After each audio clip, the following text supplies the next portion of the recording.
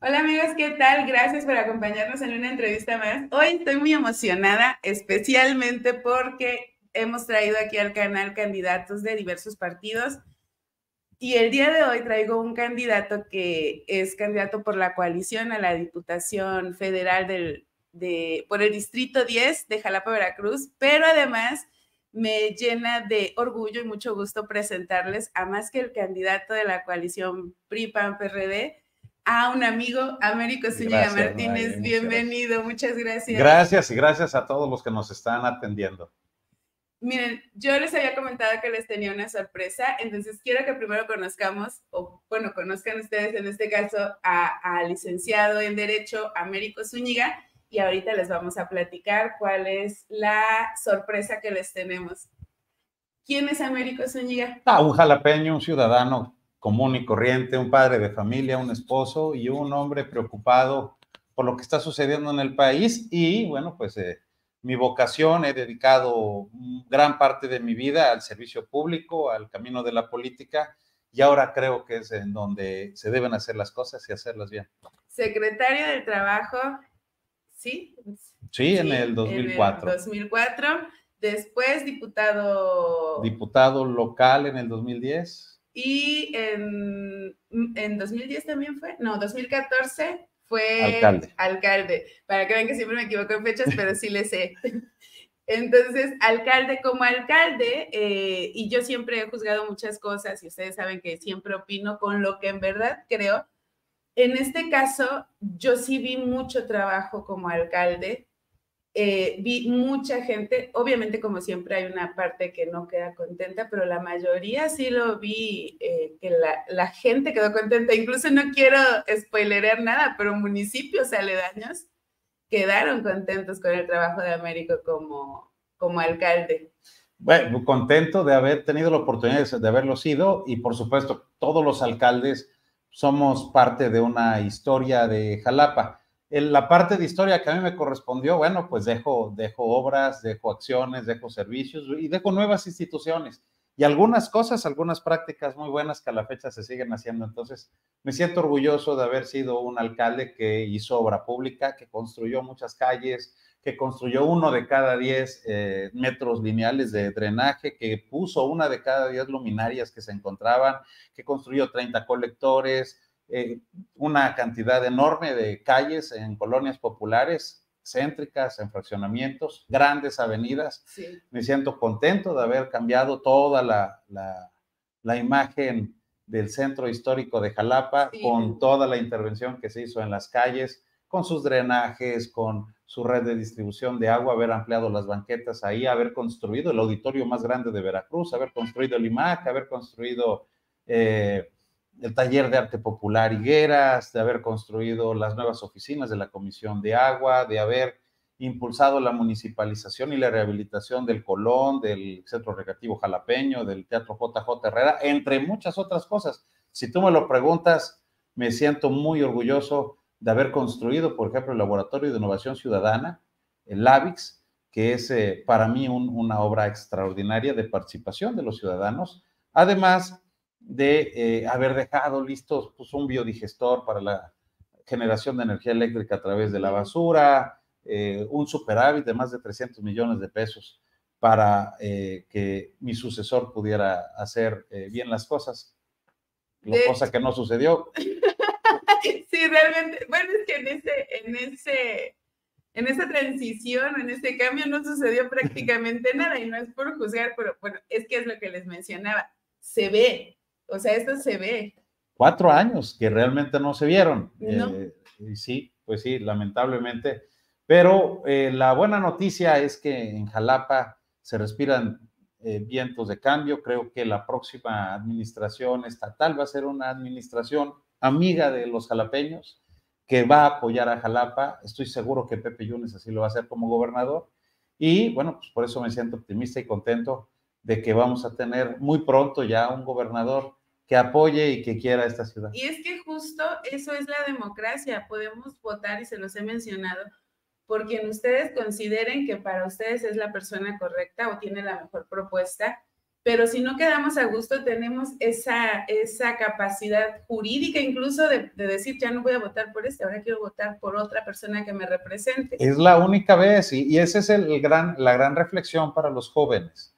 Para los jóvenes hay que decirles que no va a haber otra oportunidad para nombrar gobernador sino hasta dentro de seis, seis. años. Entonces un joven de 19, 20 años a lo mejor la próxima oportunidad que tenga para nombrar presidente de la República ya tenga 25, 26 quizás de 25 26 ya tengas otras prioridades, ya quizás estés casado, quizás tengas hijos, quizás estés pagando un crédito, quizás estés viviendo de manera independiente, quizás estés buscando chamba. Entonces ya para entonces habrá sido muy tarde para mejorar las condiciones del país. Exacto, por eso analicen bien de verdad, por quien quieran, pero analicen bien su voto. No es nada más ir a la casilla y poner una rayita, una cruz, es pensarlo bien. Y, como bien nos comparte Américo, es un momento decisivo. Es un momento decisivo para todos, pero sí, el peso de los jóvenes es muy grande en, este caso. Es fundamental. Yo creo que los jóvenes tienen en sus manos eh, hacia dónde se va a inclinar la balanza. Yo creo que sí, esto va a ser de los jóvenes. Y no se trata de una cancioncita, no se trata este, de un político, de unos colores, de unas siglas, se trata de las causas, se trata de los anhelos y de los sueños de los jóvenes. Lo que, lo que leí ayer, que es una reflexión muy bonita de don Federico Reyes Heroles, que la comparto con ustedes, puso en un, en un post, este, Federico Reyes Heroles dijo que él es apartidista, completamente apartidista, pero que sea apartidista no implica ser neutral. Exacto porque en la época en la que está viviendo nuestro país, nuestro Estado, ser neutral es cobardía. Entonces, imagínense, y, creo que tiene razón, digo, puedes estar o no estar de acuerdo con uno o estar en desacuerdo con todos los partidos. Lo que sí no puedes hacer es marginarte de, esta, de este gran compromiso que es el, ejercer tu derecho y tu obligación, ¿no? Sí, exacto, porque es derecho y obligación, pero hay que hacerlo concienzudamente. Y aquí me gustaría saber, Américo, qué propuestas nos traes ahora que ojalá, yo espero de verdad, te lo agradezco mucho. Nos representes en el Congreso. Gracias, porque además aquí me vas a tener muy pronto este, dando, rindiendo cuentas de lo que estamos haciendo. Ojalá, este es un compromiso, ¿eh? Fíjate que eh, son, son muchas las propuestas, pero quisiera yo englobarlas eh, en, diferentes rubros. Necesitamos, necesitamos ir a, San Lázaro para participar en la toma de decisiones con respecto a las políticas que se están llevando eh, en, el, medio ambiente. Nosotros tenemos que, atender el tema del medio ambiente y hablo de medio ambiente porque quiero hablar de la calidad del agua, del aire, quiero hablar del agua, pero también de su abasto, quiero hablar de la reforestación. A mí me parece impostergable que se analicen el uso y cómo podemos incentivar las tecnologías limpias, las energías limpias y sustentables, eh, cómo mejorar eh, las políticas públicas para que sean eh, compatibles y amigables con el medio ambiente. Me parece que hay que rescatar los compromisos que debe tener México a nivel internacional, como el de Copenhague, cumplir con la Agenda 2030, la de París. Tenemos que, llevar a cabo un, trabajo serio y un trabajo responsable para el futuro de, nuestro Jalapa, de nuestro Veracruz, de nuestro México. Pero también quisiera decirte que eh, voy por la recuperación de muchas cosas que quitaron, no por vender pasado, pero creo que el apoyo para los policías, por, poner un ejemplo, el, mejorar las condiciones laborales de los policías, apoyarles, comprar eh, pues su armamento, su patrullaje, darles previsión social, mejorar sus, sus em, eh, monumentos, sus percepciones económicas. Creo que este debe ser un compromiso de todos porque la, la seguridad es un tema bien importante, particularmente en Jalapa, pero ahí también quisiera que regresaran esos fondos más los fondos que pues tenían que ver con la infraestructura física educativa para mejorar las escuelas, que tenían que ver con las estancias infantiles, con las escuelas de tiempo completo, que tenían que ver con muchos, eh, muchas políticas públicas que iban en función de apoyar a la mujer. Quiero que haya más transparencia. Hoy veo con preocupación cómo estamos en el reinado de las asignaciones directas, de los contratos amañados, de eh, las nulas licitaciones. Quiero decirte que tuve la oportunidad de ser el, segundo alcalde con una mejor calificación en materia de transparencia, porque todas las obras que hicimos estuvieron registradas en el órgano de fiscalización. Una por una, no había una sola empresa fantasma, no hubo una sola obra fantasma, todo se registró y yo me siento orgulloso de haber llevado a cabo esta transparencia que creo que debe ser obligación. Me parece a mí también que este, esta obligación debe de enmarcarse en un nuevo derecho que quisiera yo proponer, que es el derecho a la correcta administración pública. Todos debemos tener derecho a ser bien gobernados y que la administración pública sea eficacia y eficiencia. Que la administración pública ya se olvide de los subejercicios, que la administración pública ya se olvide de estar este, poniéndole a todo de seguridad nacional para que no sea, para que no se licite, para que no haya transparencia ni rendición. Entonces, en ese sentido voy a trabajar, pero si yo te pudiera decir una, una misión, que creo que es una misión fundamental, además de aprobar un de egresos con, con obras para Veracruz y con mejor apoyo para el Estado y para Jalapa, necesitamos detener el deterioro institucional que sufrimos. Creo que como nunca Hoy vemos un ataque a la división de poderes, vemos un ataque a la Suprema Corte de Justicia, vemos un ataque al Instituto Nacional Electoral, vemos cómo la presidenta de la Comisión Nacional de Derechos Humanos ha propuesto eliminar la Comisión Nacional de Derechos Humanos, cómo los órganos autónomos, los órganos, los organismos reguladores, en fin, cómo se han tratado de eliminar los contrapesos democráticos del que el país gozaba, y no porque fuera perfecto, pero estábamos en la ruta, estábamos en el camino democrático de tener instituciones confiables. Exacto, porque además, algo que, y siempre lo comentamos aquí con, mis roomies, que se llama mi comunidad, es el hecho de nosotros ciudadanos, finalmente somos quienes deberíamos de pedir explicaciones y normalmente, y lo que yo veo que está sucediendo ahorita es, tu ciudadano te callas y te aguantas a lo que hay. Mira, hace dos días publiqué un tweet por ahí, siempre habrá un tweet, al poder, a la autoridad, no se le debe de aplaudir, se le debe de exigir. Es decir, sí, como decían los clásicos, no, no, no, no tengo miedo de la acción de los perversos, tengo más temor de la pasividad de los buenos. Entonces, efectivamente, los ciudadanos debemos incrementar nuestra participación política, incrementar nuestra exigencia y llamar a cuentas a quienes son nuestros empleados es que muchas veces el hecho de decir, bueno, pues ya esto nos tocó, ay, bueno, pues es que siempre es lo mismo. Es la actitud que nos lleva a no exigir, a conformarnos. El pensar que todos son iguales, el pensar que no hay cambios, el pensar que toda la política es mugre. Yo quiero, quiero decirle a todos los jóvenes que piensan así, que hay, una, hay un porqué, eh, porque los jóvenes quizás están en, en baja votación, pero unos años después incrementa la votación de los jóvenes y, tiene una razón. Su voto sí cuenta, su voto sí participa, su voto es fundamental. Por eso eh, hoy lo estamos pidiendo casi casa por casa, persona por persona. Y bueno, pues lo, estamos diciendo con mucha claridad. Queremos que nos contraten. Al final del día, para mí, el voto es una contratación, es un contrato este, de prestación de servicios. Yo tengo un currículum, yo tengo una hoja de servicios y quiero que los jalapeños me contraten y me empleen como su representante popular. ¿Ven por qué confío en él? Se los dije. y bueno, algo más que, que, me gustaría saber, Américo. Tú eres un jalapeño de nacimiento, pero además tienes una historia, tus papás, tienes un legado. Platícanos un poquito de tu amor por Jalapa, sobre todo, y por el estado de Veracruz. Ah, muchas gracias. Pues, pues mira, mi, mi ciudad es para mí este, un gran amor. Yo admiro, quiero Jalapa. Eh, lo más importante, lo más hermoso de Jalapa es su gente, pero también debemos decirlo, tenemos la ciudad más arbolada, más hermosa, con el mejor clima.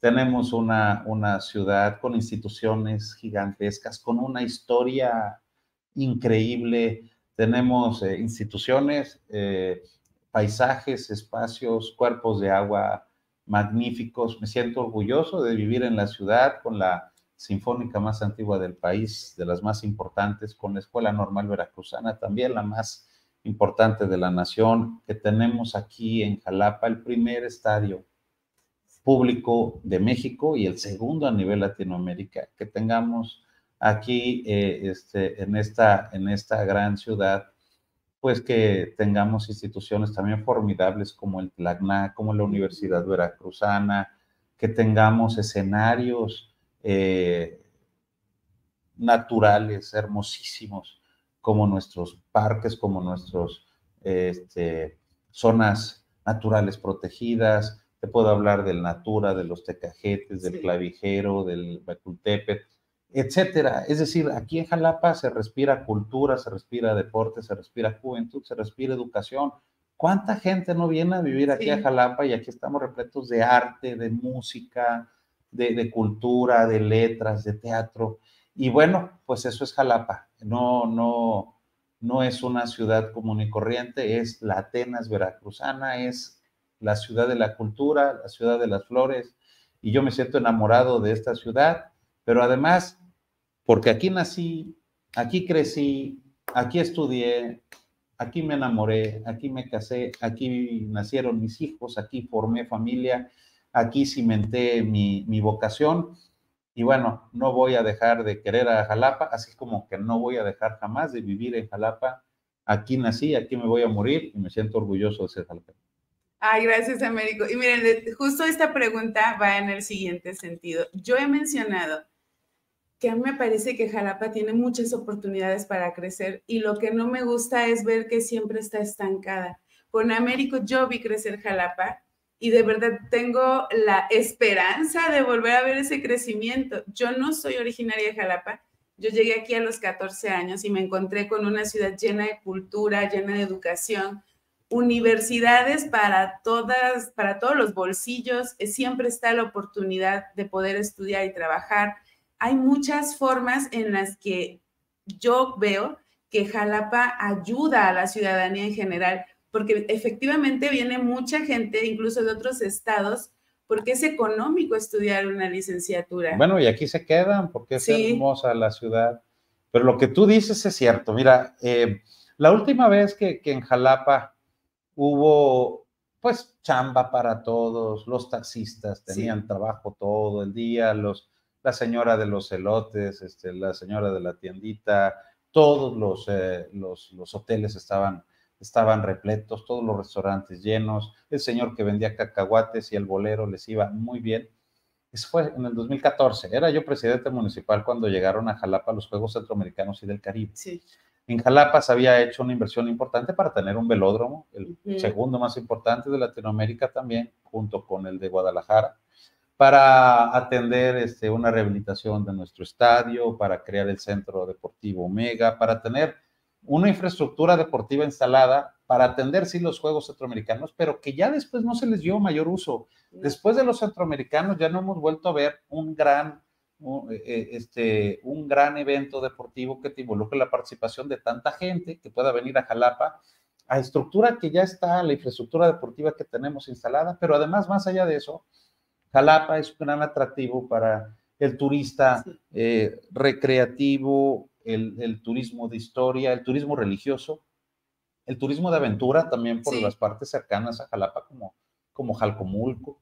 Este, tenemos además un, turismo que es para mí importante, que debería de ser lo que es el, el, turismo este, histórico, pero además un turismo de salud que pudiera haber si tuviéramos aquí mejores condiciones de sistema de salud y, y además la atracción de, de, hospitales que se requieren aquí, aquí en Jalapa, sector público y privado.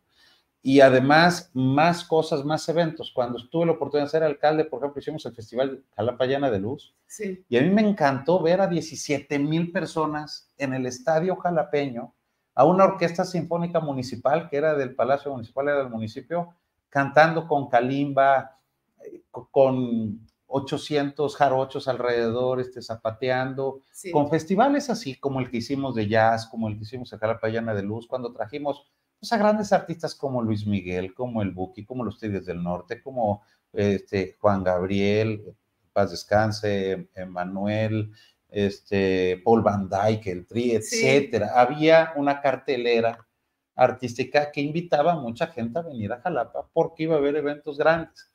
Son, son eventos que creo que es lo que le hace falta a la ciudad, un atractivo para que haya gente que diga, hey, este fin de semana hay que ir a Jalapa porque llega Teatro del Estado tal obra, porque llega tal persona, porque va a haber tal festival, porque todo eso, pero que sí, que haya una cosa que realmente tú ibas en otro lado y digas, voy a ahorrar un poco de la quincena porque el próximo mes va el festival que más me gusta de jazz, el festival que más me gusta de rock, porque va a haber una presentación. Eso, eso le hace falta a Jalapa, creo Sí, yo también, de verdad, sobre todo para los jóvenes. Vemos que sí hay varios centros nocturnos, antros, como gusten llamarles, pero falta esta parte que había y lo que decías ahorita de los teatros, yo la cartelera de verdad cada vez la veo más pobre, que Jalapa tiene varios teatros, incluso teatro infantil se hace aquí, el universitario, este... Eh, el infantil, el universitario, tenemos un teatro de títeres. Sí.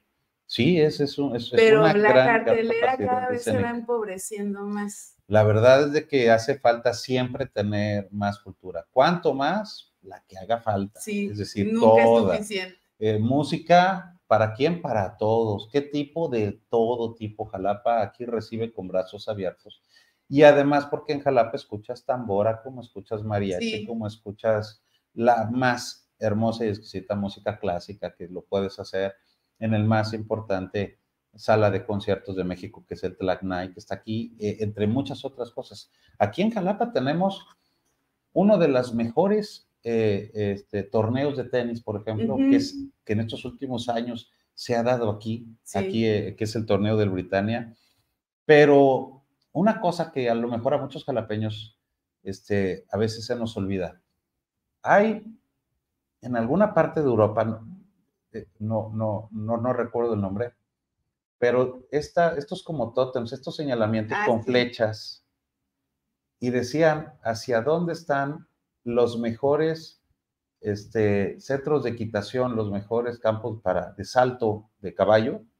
De esta es, entonces veías ahí Nueva York a tantos millas para allá, veías este, Londres, veías Sydney, veías así y ahí decía Jalapa, junto con Nueva York, junto con Londres, junto con Sydney, Jalapa eh, tiene este, uno de los hípicos más hermosos e importantes del mundo.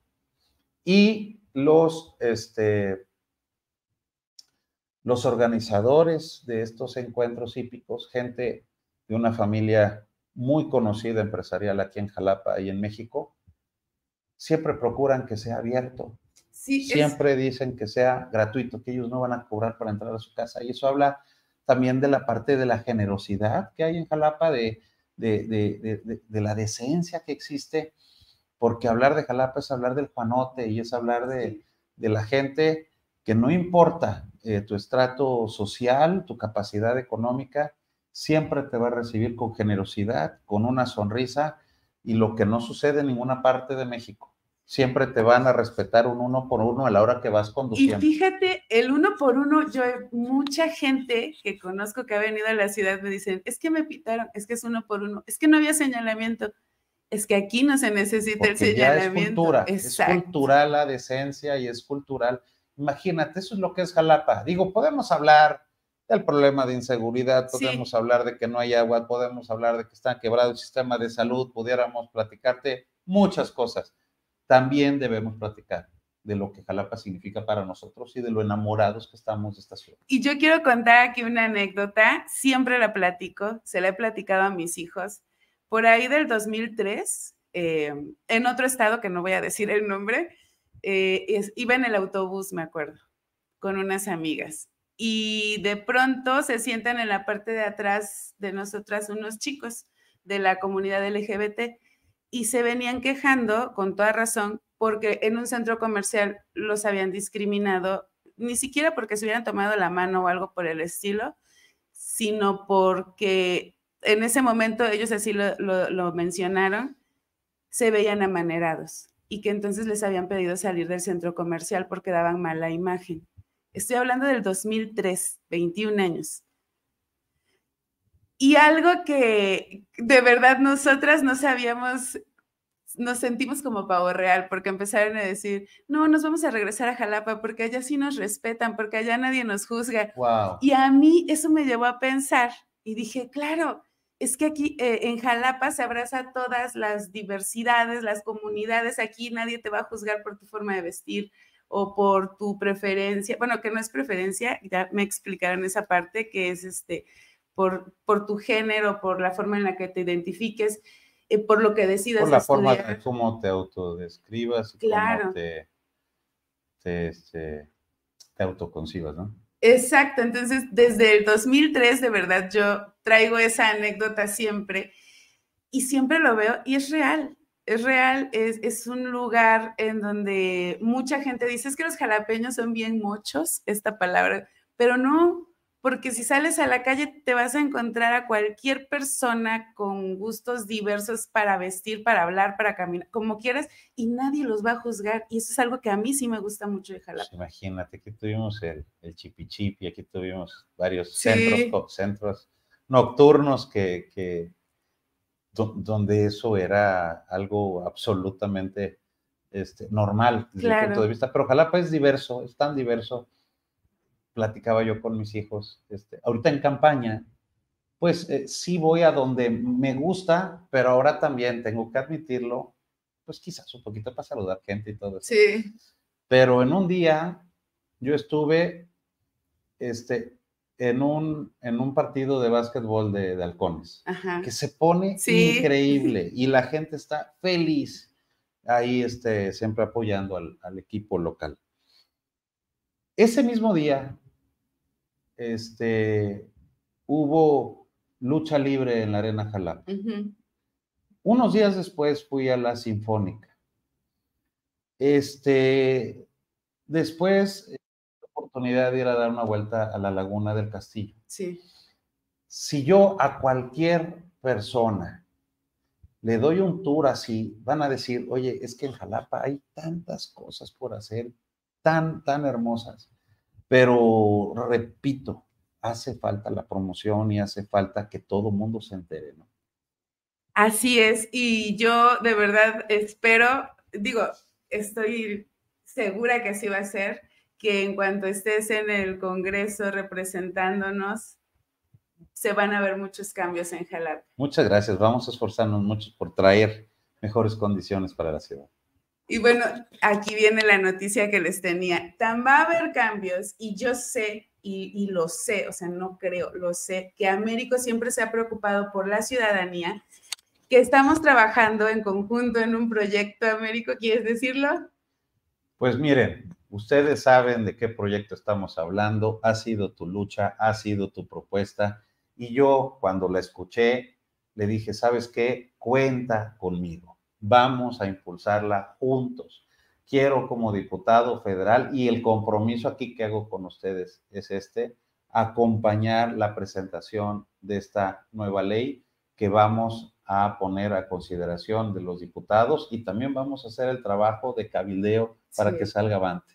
Sí, porque lo que queremos es que como ustedes lo han pedido y yo les decía es que no sé, mm, tendría que acercarme a alguien hasta que recordé, dije, pues si lo tengo aquí, no lo había pensado. Es una ley en la que estamos trabajando ya hace algún tiempo para que las víctimas de abuso sexual o de los delitos eh, sexuales antes del 18 de octubre del 2023, que se convierte en, en delitos que no prescriben, pero quienes antes fueron víctimas y prescribió, puedan tener acceso a la justicia que puedan tener acceso a eh, las responsabilidades de quienes cometieron estos ilícitos, que si bien es cierto, difícilmente puedan ser en el ámbito penal, lo pudiéramos hacer en el ámbito civil, pero que realmente haya una retribución de la, de la, de la ley para, eh, pues eso es algo que jamás se va a poder resarcir pero que sí haya justicia, que sí haya respuesta para todas aquellas víctimas que debido